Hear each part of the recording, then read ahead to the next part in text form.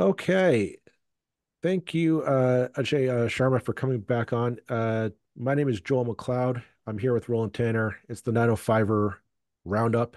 Uh, we are, this is going to be a good one, folks, because we're all fired up over recent news.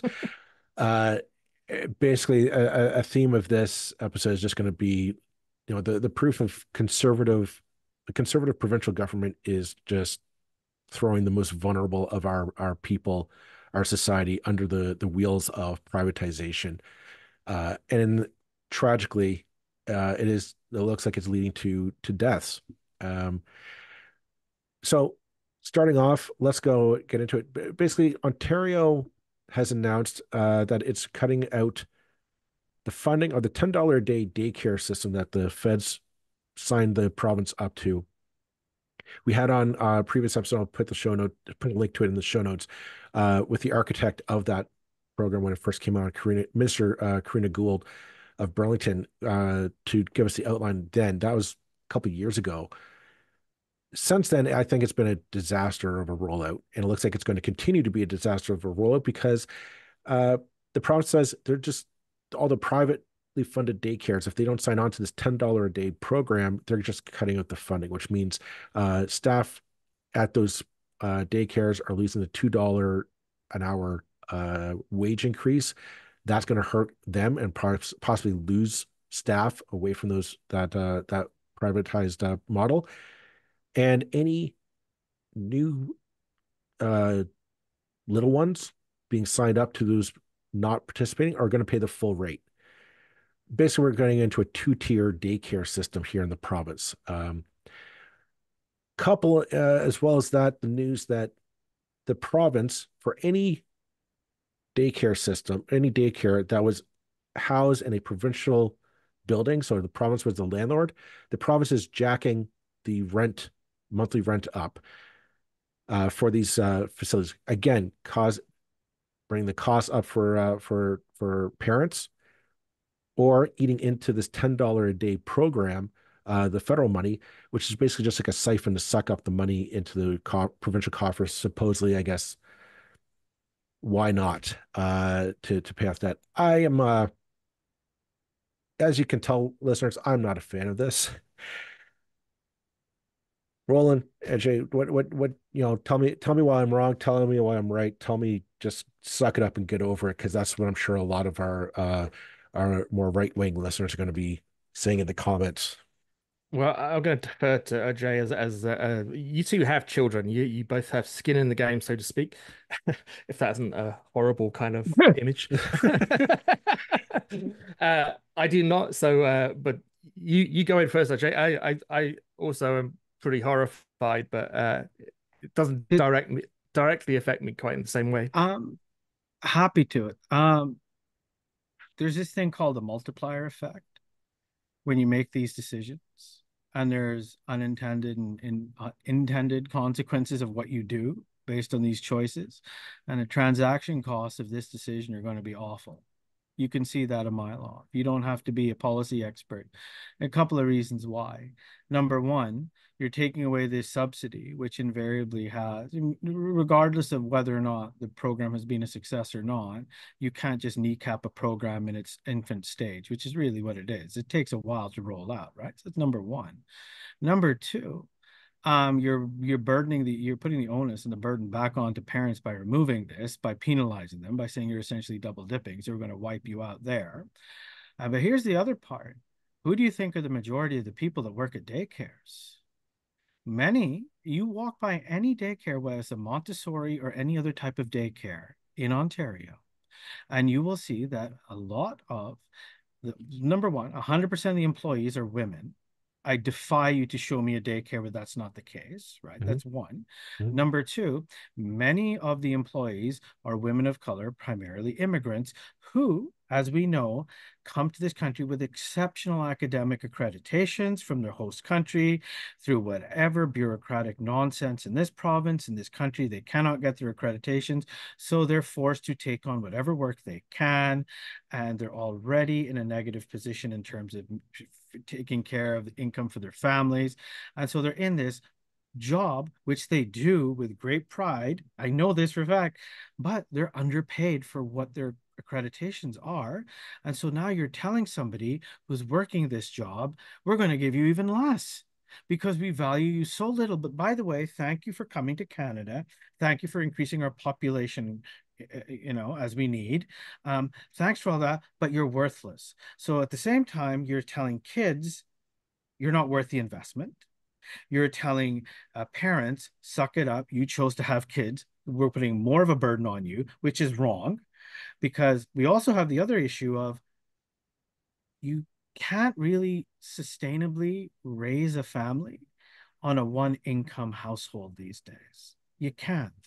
And whether it's two incomes working at moderate income jobs or high or low, it doesn't matter. You still need those double incomes. And so now we're really, what we're doing is you know that expression trickle down economics where it's really a facade and it's not really true. Yep, well yep. it's comparable to this where they're saying as joel was saying you know private sector will figure it out. We'll, we'll figure this out my friends. That's how he talks our premier right? And so it's just going to deflate the ability of people to take care of their families and it's just going to increase the poverty level.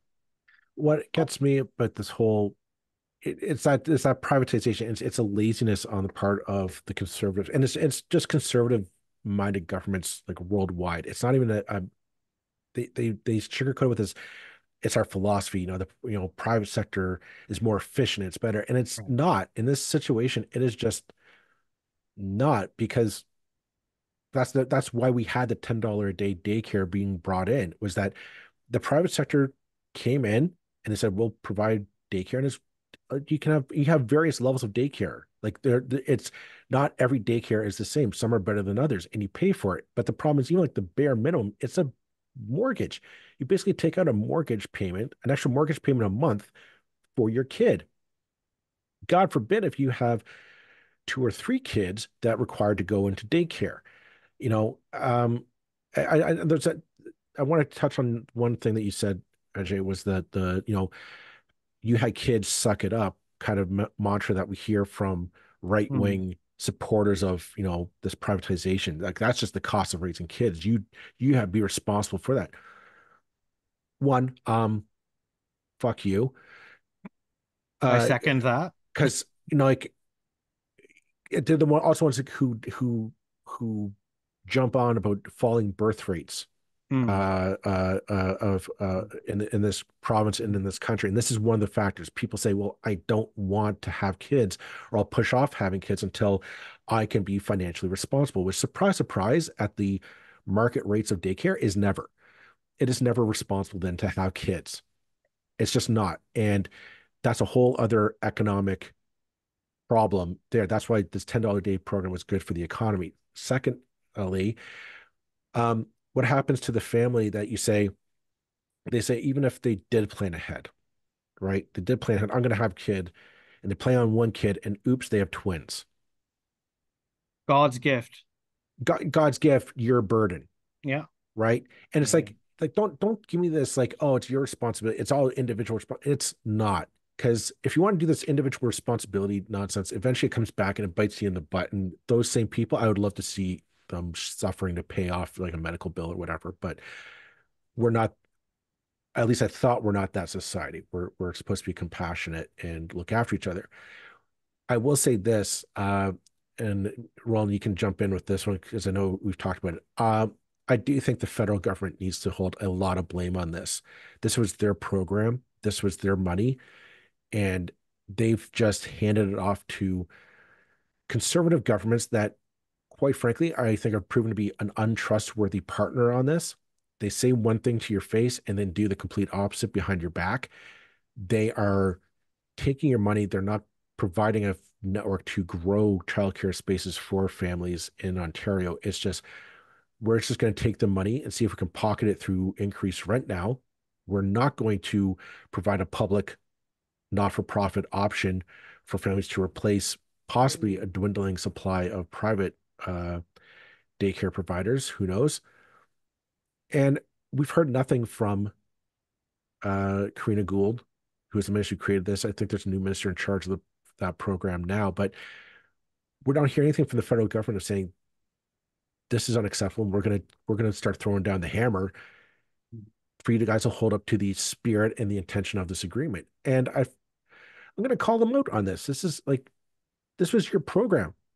Follow it through. It's uh, yeah, and it, is something that's happened multiple times now. You know, we, we saw during during COVID, federal government stepped in, and I thought they did exactly what needed to be done. It's like, what can the federal government do in, in a situation of a global event like that? It can basically spend money to bail people out, and, and it did. But it spent money to bail out the province as well. And the province said, oh, that's nice. We'll just pay down the deficit with that. Thanks very much. You know, money earmarked for education didn't get to education. Uh, and it's, it's, I do kind of feel it's like, well, surely to God, the federal government can do something more to make sure that the money it's providing actually goes where it's meant to go. And you know, this is this is the second or third or maybe even fourth instance. I'm just trying to think of the other examples where the federal government has increased spending in an area, which is immediately followed by the province cutting that spending in, uh, on their side. So, and you know, it, it, it's dumb because the federal government isn't even getting the credit for what they're doing. The province is kind of pulling this bait and switch, and the public is getting screwed because we're promised these amazing things which are built on the basis of the province and the feds working together uh, to provide you know the benefits of this increased funding. And you end up kind of back where we are. Now it's not exactly back where we started but it's still it's undermining this project uh, right from the get-go. Um, and you know other problems obviously are you know it's oddly enough it's actually undermining private companies here that that are trying to go their own way for whatever reason um, which again not you're not helping business you know the things that the, the pcs always claim that they're the friend of business well this is screwing business. And thirdly you know all that stuff about family politics and family this and family that and defending the family it push comes to shove when it comes to doing what it we need to get well educated, uh, well cared for children at the in the earliest days of the life, where you know everything is being formed uh, that is going to be the building blocks for the future of the, those children. The government couldn't give a damn. Is going to screw them over. So so much for family politics, you know it's just hypocrisy. When rubber meets the road, they're screwing all the people that they say that they're the friend of, business, children, families where do you where do you start with this stuff? You know, it's it's it's just uh, unbelievable, uh, and yet they're way ahead in the polls, and you know, so what do they care? I guess they did have form for this, though, right? They they started this process early and aggressively. Uh, when you go back to when they were elected, what year is that? 2018 when they first came in. Yeah, yeah. Right. Okay, so many of your listeners, viewers may not, some may remember that when they came in, the first thing they did was kneecap um, provincial assistance programs for people with disabilities. And what did they target first? The most expensive ones. And what does that focus in on? Kids because kids are expensive. That's going back to your whole point, right? It goes hand in glove with the daycare. When you look at austerity, they'll they'll call it, you know, looking for efficiencies and removing duplication, and all this neoliberal bullshit, um, which I'm sure your conservative listeners will get really upset about. But that's what it is: neoliberal bullshit. There's no proof that it works, um, the, to the extent that it does what it said it's going to do, and so they cut the program where you know kid with autism or any other developmental concern um, lost funding to $20,000 a year of treatment. And so, what is a supporter of the PC party going to say? That's the cost of raising kids in Ontario? Well, nobody in their rational mind thinks that they're going to be paying out of pocket 20 grand uh, a year just for their kid to reach, in quotes, standard levels of operation if they have a disability or anything. Uh, language is crass, but let's just say it for what it is.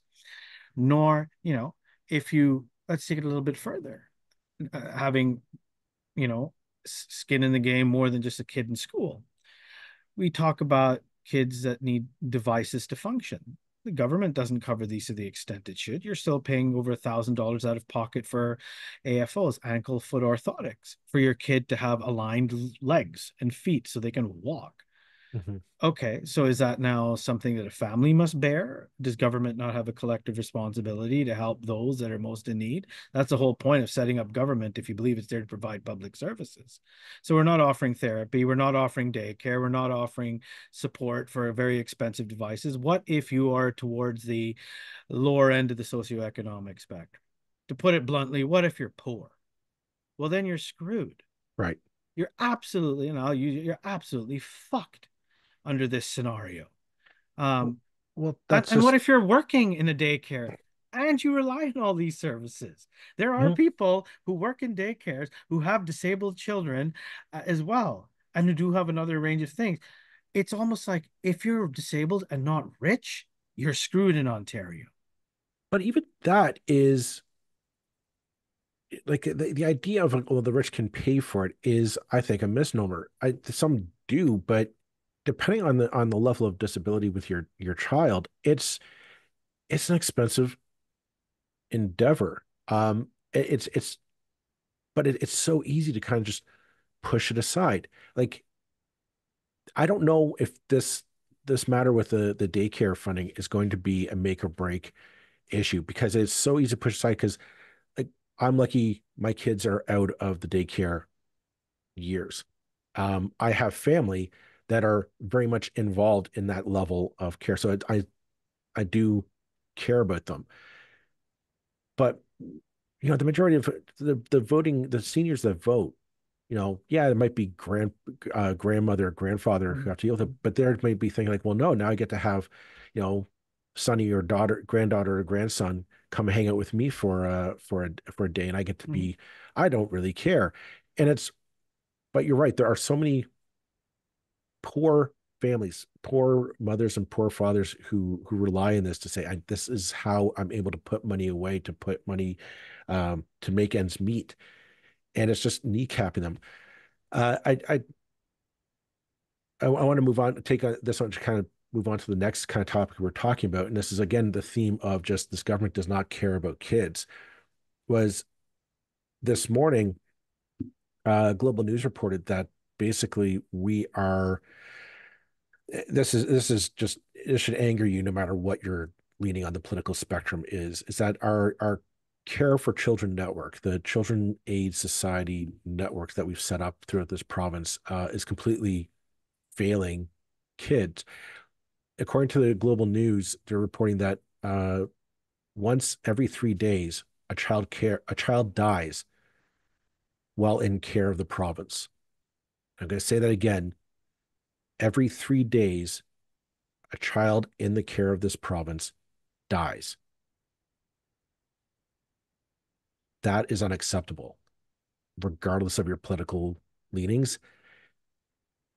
And if you're trying to come up with an excuse or, or a rationale for it, just stop because this is this is, in my opinion, Walkerton level incompetence, corruption, that they, this government should be turfed out based on this news. Uh, this is this is worse than Walkerton, in my opinion. If one, you know, we're talking of 354 children between 2020 and 2022 um, uh, that died in the care of this government in some form. We don't know why they died, and that's the other thing is there's so many deaths that happen that we don't have the budget to do a proper inquiry into learning the causes why. And the government doesn't want to put the money aside. They don't want to invest the money. They don't care to find out why did these kids die. I I don't have the words to articulate how disgusting and uncallous this is. I really don't. You can, if you want an analogy, look how callous. Let me let me back up before I go there one of the things I do in class is when we're lecturing on certain topics that are important in not only this country, but any country when it comes to um, the welfare of children, right? Um, here's here's a stat. This is, and I'll share it with both of you after, but it would be neat for me to put it on screen somehow. Um, and it's from the CBC, and I use this in class. Um, during the residential school era, a child was more likely to die there than somebody serving a Canadian serving in World War II. One in 22. Now, contrast, bring that right up today. So there we did that. And you know how many segments of society have brushed that under and don't even want to discuss it. And they say, oh, uh, this is unimportant. Don't care. Don't want to deal with it for whatever reason. And now you're looking at something that's happening in your face today, wards of the state dying under the care of the state, which brings back brings a couple of things in. Number one, pardon my language, because this one upset me too. Who the fuck is running these places? Absolutely. That's number yeah. That's number one. Number one, who the fuck is running these places? Number two, how much are we not doing? Not what are we doing, but how much are we not doing in terms of you mentioned the point we don't even have the resources to have public inquiries into why these children are dying. So, and is this going to be another one of those things that, you know, if it comes up during election time, Doug's going to get on his podium and say, you know what, this is unacceptable. We're going to get to the bottom of this. And, you know, it's clear that government bureaucracy doesn't work and we need the private sector for innovations. Is that where it's going to go? because that's where a lot of these things when it comes to human welfare and health in this province seem to have gone and the fact that i'm only hearing about this from you today like i knew the cas system was not good i know it's not but a child every three days is not what a leading G7 economy should be leaning on and being proud of, right? I mean, there's something abhorrently wrong, but I don't think, sadly, you're going to get any answers on this because whatever answers they uncover, they're going to deflect blame. And no one's going to assume any responsibility other than trashing the public servants who I bet are underpaid and overworked. But here's the thing with this situation, it's not the public servants. Like we we don't and that's what people are assuming like oh these are taxpayer funded they are taxpayer funded but they're private entities. Correct. And they are and that, that's kind of the the bullshit of it is that the in the the effort of finding efficiencies in in this care it's well we'll privatize it except the money still comes from us. Because yeah as you said Jay, like nobody can afford this stuff out of pocket. It, it is it is pricey to to provide the care that you you would instinctively think a fellow another human being especially a child would mm-hmm. require. It's pricey. It is costly not let alone the labor involved the the services that would be needed. In the case of child aid you might be talking about some kind of mental health right. requirement involved like therapy whatever the case may be. It is costly it is good it requires deep pockets that you and I don't have the average Ontarian just doesn't have but we're told oh pay for it out of pocket so instead our illustrious government gives essentially pocket change to these kids. We'll, we'll attach funding to it. Again, it's public money going to a private system. Well, how do you maximize that um, that bill? Say if you say like you know, I'm going to put I'm going to attach a hundred thousand dollars to you. A hundred thousand dollars a year is attached to you to provide room and board, staffing, uh, and possibly any other care for one per, for one person, right? For one child, mm-hmm. a hundred thousand dollars a year. That that gets eaten up pretty quickly if you think about it. Between I know how fast. I know how fast. Right. It sounds like a lot to you and I, but for, over the course of a year, to provide stat like round the clock staffing, care, room and board, uh, food, all that, it eats up pretty quickly. Um, so how if you're a private industry, private enterprise, how do you maximize that? Well, I cut corners. Maybe I don't have an extra staff person on on working that hour, or maybe I don't I don't require check-ins as frequently as I'm supposed to. And that's where this stuff happens. Again, we're assuming, but that's we know that this happens in the long-term care world of right. I don't have to check in with you all the time. So why wouldn't we assume that same model wouldn't work for children? Out of sight. It, it will work. They will do it and they will continue to do it because it's as disgusting and abhorrent as it is. And if you put this to them, they'll say, no, that's not who we are. No, but that's what you do. What Yes. you do is who you are. You can't run away from your record. Well, the liberals, no, no, no, no, no, no, no, Don't give me that. Well, the liberal stuff either, because that comes up too. Um, because at that point, I'd say, what? So you're comparing yourself to a bag of steaming shit. Well done. Right? No, seriously, you think yeah. about it, right?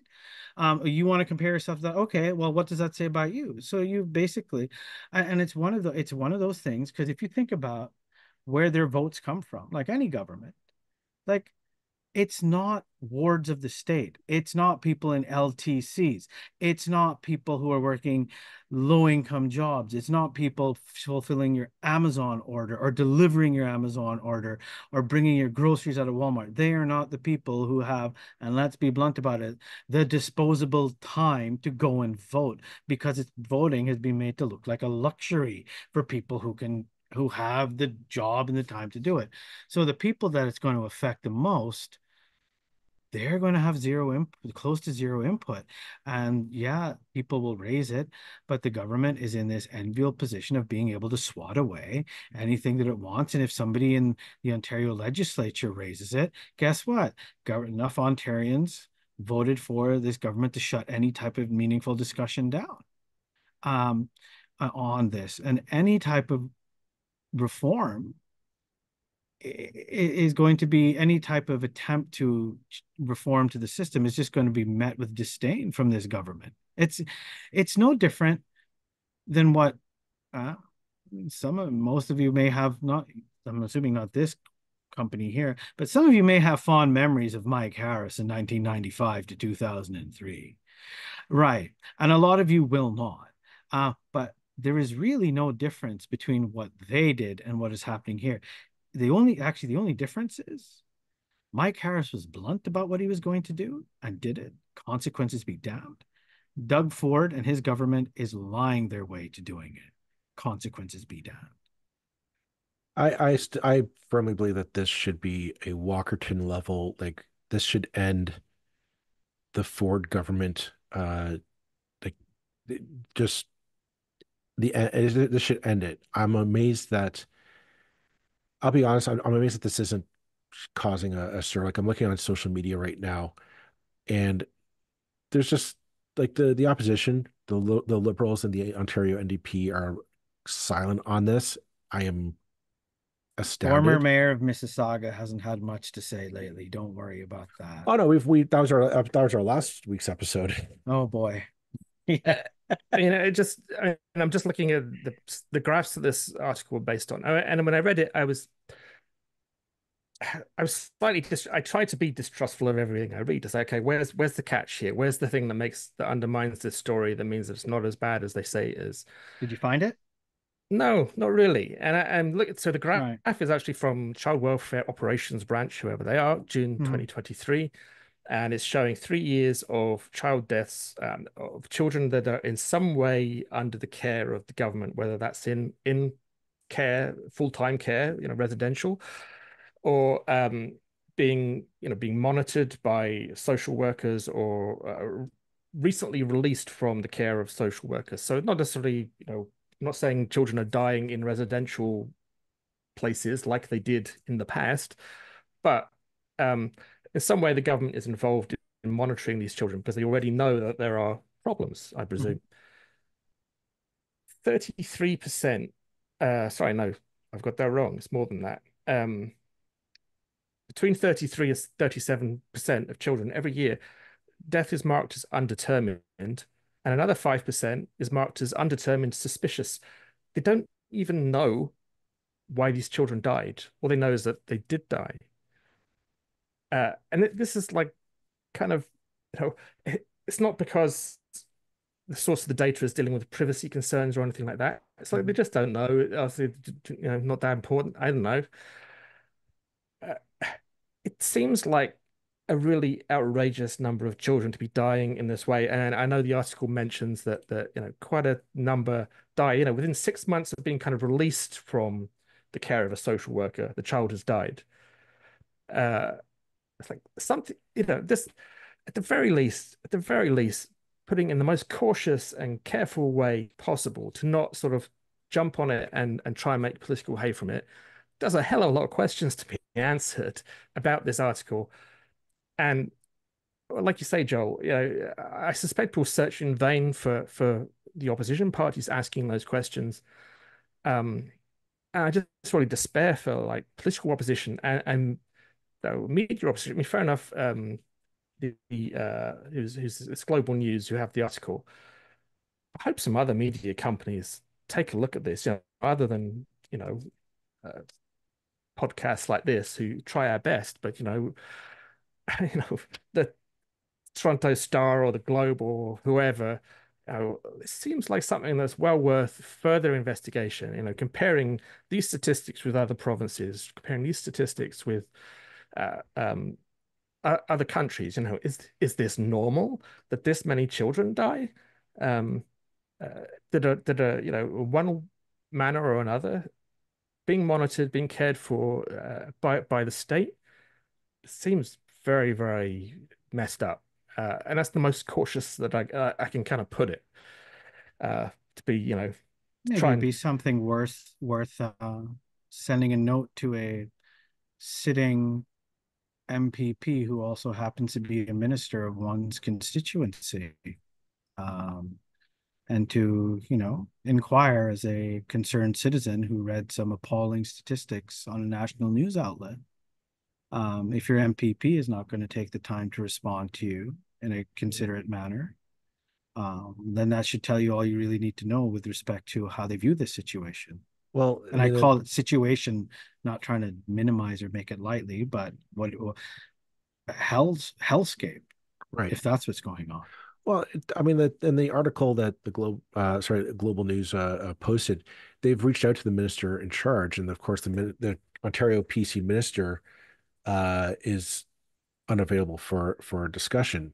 Right. Uh, what and uh, that's that's typical, right? Whenever if it's not a chance for Doug Ford to stand in front of a mic and give us all folks, all shucks, mm-hmm. uh, you know, turn at the camera, they all run cut and run and hide. They're cowards to it from the light.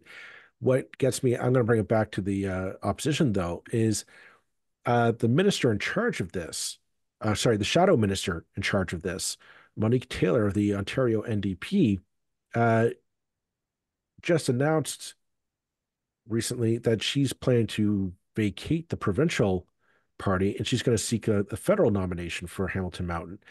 And I'm like,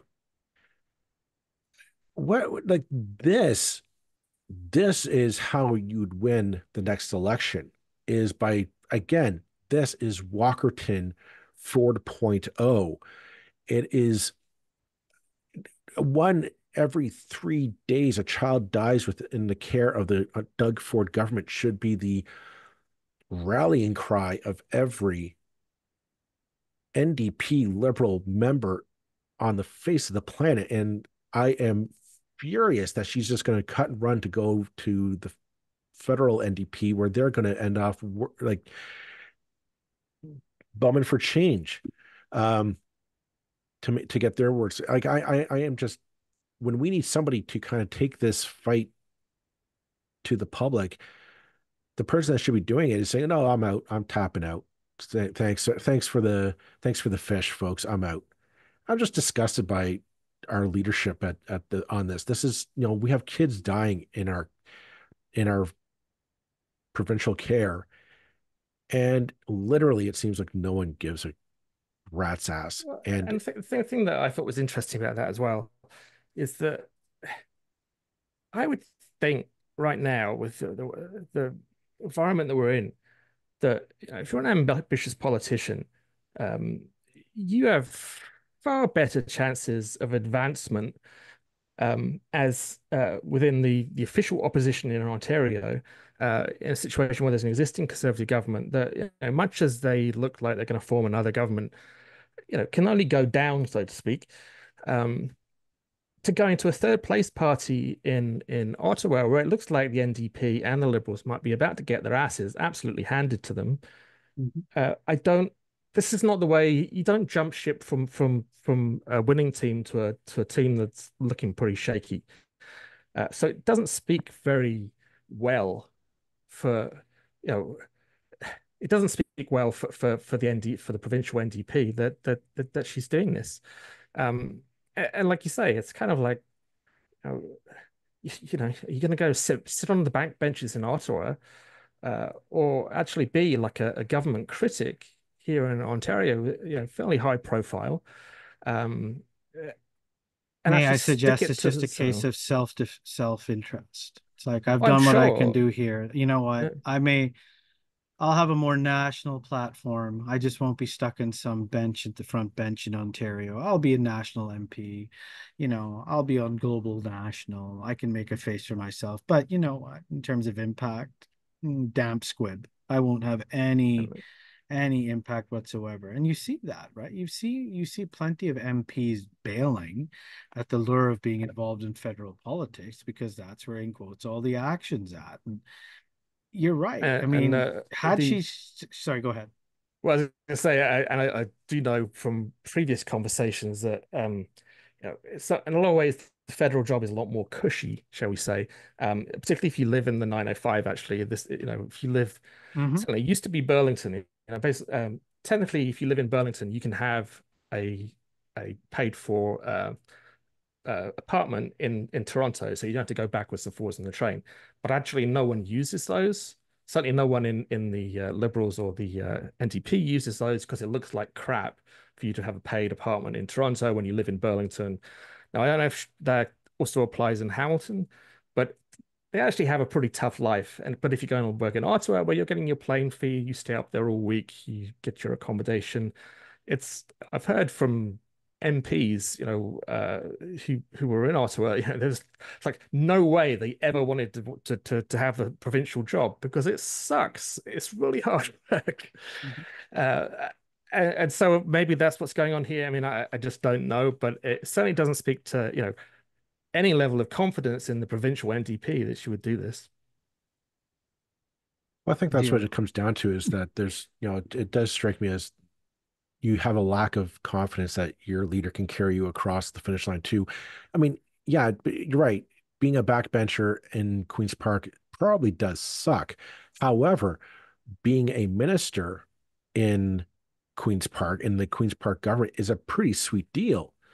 Uh, you know, you you get the you get the paid uh, uh, chauffeur, you get the uh, yeah, yeah. you get the the to meet with all the top brass in the province, and you get to be in the press all the time uh, hopefully for right stuff. But you got to want the job. And that's what I find this shocking of. I, I think it's an enormously gross miscalculation of NDP popularity across uh, Canada on Monique Taylor's part. But regardless, I'm looking at this and saying, this we we need people to hold this government to account because Lord knows our uh, you know nobody else is. We're trying to as best we can but the government doesn't want to hold up to account, and they're going to find some way to to schluck it off to another private fund, private donor or private uh, enterprise matter. And at the end of the day, you know, we have one uh, one kid dead every three days, and again, Mike Harris and Ernie Eves got turfed out over Walkerton, and that was far fewer deaths. This should be, you know, Ontario should be banging at the doors of Queen's Park, demanding the heads of Doug Ford and his ministers for this. It's unconscionable. It's unbelievable. I, I am. I. I don't. I, I, want to say I thought that this government can sink no sink any lower, and yet here we are. And I'm thinking if that's the case, there's probably even lower that we can go. But I guess we just start have to to start giving a crap about the the most vulnerable in our in our province you can you can make a difference. Look, you you can make a difference, and you can be heard, and you can hold the government to account, and you can embarrass them, and you can really embarrass them. Just look at what Mike Schreiner does. One guy, one guy, standing up, taking his time in the legislature, making points. You may agree or disagree with his points, but he stands up in a principled manner and holds the government to account. And he does tell Ontarians, look, I'm doing my job. I'm asking these questions. Mm-hmm. Where are the rest of the people? Where are the rest of the people that you elect? And, you know, for a member of the NDP who could hold a critical position, whether in opposition, which he does, or whether as a potential government, which let's be clear, they could have formed government had they not screwed it up election or two ago. Um, they can have a tremendous impact, but they just, it's going to sound awful. Maybe they just don't want to put the work in anymore. Maybe it's as simple as that. Maybe they've just had enough. Maybe they've been told, hey, you've served your time. Now you can go, you can be elevated upwards. Here's your reward for being a good, loyal soldier. You can look at it. Some people say, well, that's a very cynical thing to do. Prove me wrong. Hmm. People mm. do it, right? It's called career advancement. It's disgusting when it comes to the welfare of children.